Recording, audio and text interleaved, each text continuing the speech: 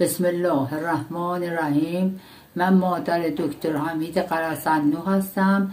تقریبا سی و پنج روزه پسرم حمید قرسنو و خانمش فرزانه قرسنو رو گرفتن بردن. پسرم و عروسم دو تا بچه دارن. الان سی و پنج روزه که اینا رو گرفتن این بچه ها در بدرن گاه خونه این فامیل گاه خونه اون فامیل. نمی‌تونن یه جا سرگردانن. اصابشون خورده. دائم گریه می‌کنن مخصوصا دخترش. شوهرم همیشه جبهه بوده. تا آخر جنگ. حمید قراسنی هم شیش ماه جبهه بوده. پسرم آدم خیریه. چند تا مدرسه تو شهرهای دور ایران ساخته. به خیلی هم که بیوزاعتن کمک می‌کنه. مردم من یک مادرم. لطفا خواهش می‌کنم. اونایی که کاری از دستشون میاد یه کاری هستن. اعدام نکنن پسر منو. دوتاشون هم آزاد کنن. بچه هاشون بی سرپرست نمونه. هیچ گناهی نداشتن. هیچ اذیتی به کسی نکردن. خواهش می‌کنم آزادشون کنین. من دکتر حمید حسینی پزشک خانواده و ایمونولوژیست ساکن ملبورن هستم. به عنوان یک پزشک سخنم با شماست. یک پزشک نجات دهنده جان انسان هاست نگیرنده جان آدم ها آقای دکتر قرحسنلو هم نجات دهنده جان انسان ها بوده و هست نه اینکه جان کسی را بگیرد.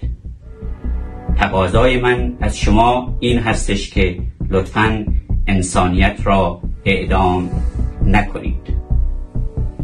اعدام شرافت بیشرفی است. اعدام مظلوم نشانه شجاعت نیست بلکه نشانه ترس است. اعدام مروت و مردانگی خیانت است. یک انسان خیررسان را اعدام نکنید مدرسه ساز پاداشش اعدام نیست.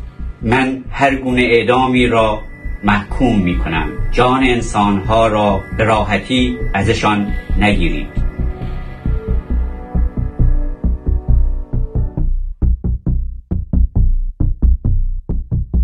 It is disturbing to hear reports that Dr. Hamid Garhassanru, an Iranian, has been sentenced to death simply for protesting.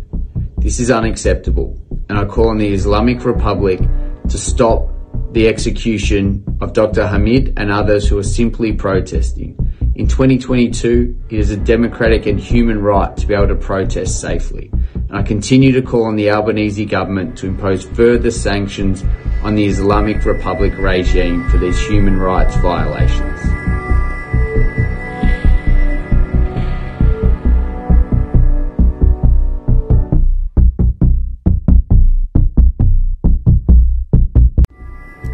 Dr. Hamid Gar Hassanlu is an Iranian radiologist, a father of two, and a doctor who did a simple thing. He attended a protest and has now been arrested and sentenced to death. This is something Iranian Australians did only here a few weeks ago. This shouldn't happen in 2022. I'm a new federal member of parliament and my job is to listen and to fight for you. I call on the Islamic Republic regime to do simply that, to listen to your community and fight for them, don't fight for yourselves.